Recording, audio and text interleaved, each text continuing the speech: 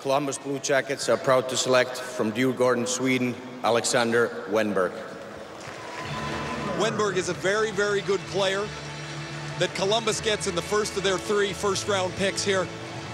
And the one, the one thought that I had being talked to by a couple of different scouts was he makes the right play a lot of the time. Hey man, how's it going? What's going on? What's up, buddy?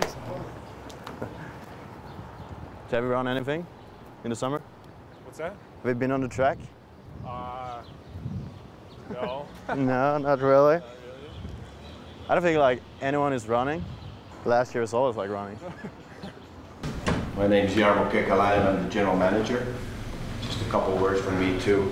Um, normally we'd be evaluating you every day and watching you like hawks when you play and and I think the biggest thing that we're going to be evaluating this week is your, your willingness to learn, how you listen, how you learn from all the things that we do here.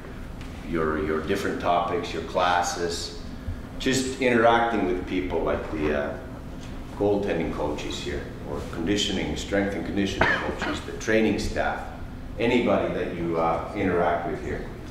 This is about what it takes to be a, an NHL hockey player.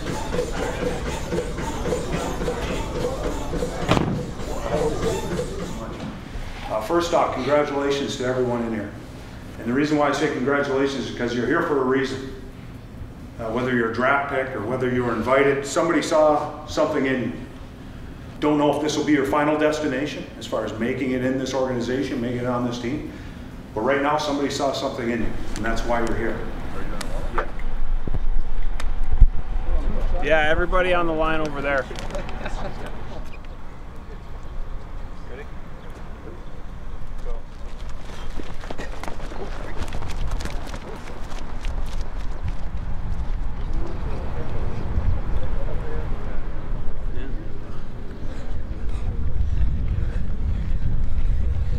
Minutes.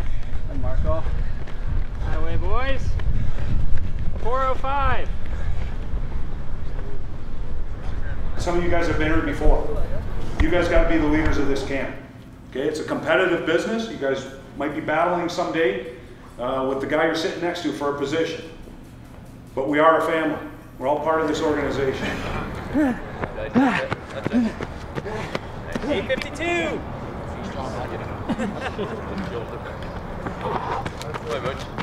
Eight fifty nine. That way, Mooch.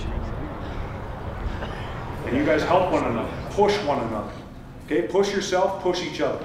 I was at the track, I watched, I like hearing guys try to push one another. That's what we want here. Because you make your, your teammates better, your teammates will make you better.